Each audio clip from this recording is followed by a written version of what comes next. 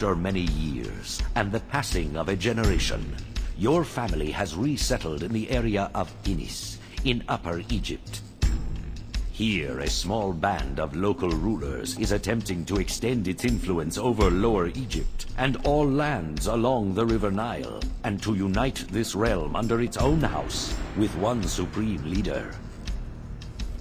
Establishing Thinis as a thriving city like nothing ever seen before will prove the worthiness of the Thinite Confederacy and help them gain supremacy over Lower Egypt and the other factions vying for power.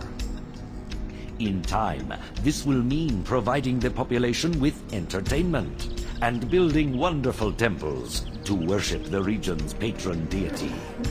To build a city this grand will require a substantial supply of cash. You'll find rich deposits of gold ore in Thinis, and harvesting them should be your first priority.